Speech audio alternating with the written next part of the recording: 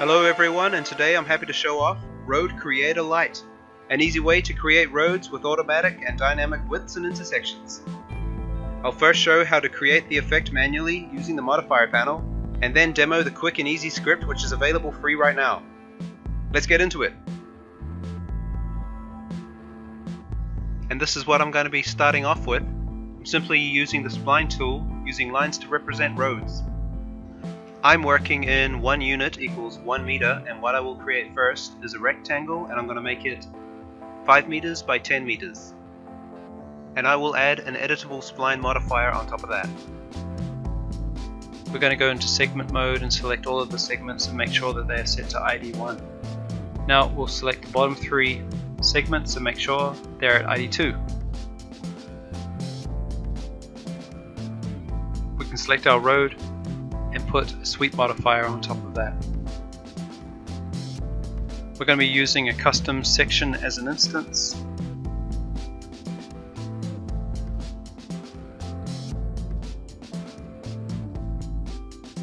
And under the sweep parameters, we're going to check that our alignment is correct and we're going to use union intersections. Now union intersections is key to this method. I'm also generating material IDs and using section IDs for the sweep modifier.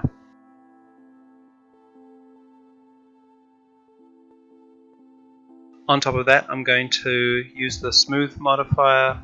Auto smooth is fine at the default amount. We'll add a volume select. I'm going to choose face mode. We're using the replace method and I'm choosing smooth group 1 so you'll see the top and the bottom faces are all selected. The next volume select I'm going to add to the stack is also in face mode. But in this case what we're going to be doing is subtracting material ID 2 and that leaves the top face so we're going to invert that and now everything is selected that we want to delete because we just want the road on top. We'll add the delete mesh modifier and now we're going to work on our chamfers. We're going to add a 5 meter chamfer and we're going to apply that to all vertices. I've turned on some smoothing here and we've added another chamfer on top. Now this chamfer is going to be half the amount of the one that we just put down so that's two and a half meters everything else is the same all vertices turn on those smooths alright and that's it if you choose that original rectangle and you change the width you'll see the width of your road changes and if you go down to the base object of the road spline enable your show end result and you'll be able to modify the shape underneath and everything will update towards the top including the chamfer and the intersections. As you can see it's quite a flexible method.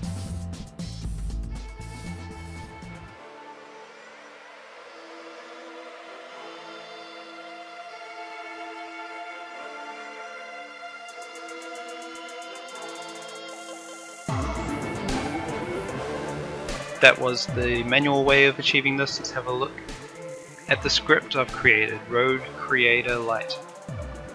So we'll run the script, select the road, choose Make Road. One step that is required is to select the material shape, select all the segments, deselect them, and then you can copy that modifier onto the road profile shape, and then the system's ready. There is easy access to the road width and the road fillet. Also an edit road switch.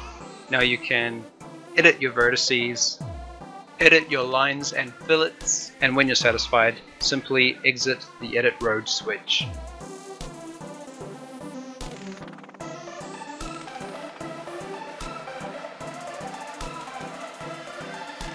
One more thing you can do is extract a shape and then you'll have a clean shape ready to be swept, meshed, or extruded.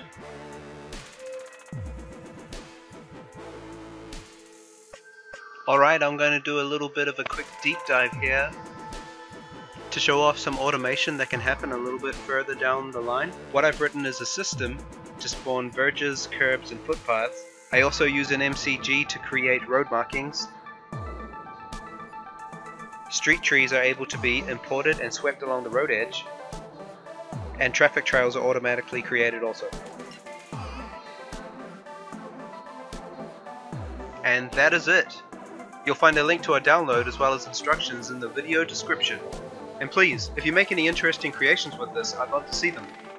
I've had people show me some surprising results using the power tool, and it's really encouraging seeing people use a tool that I created. Thanks everyone.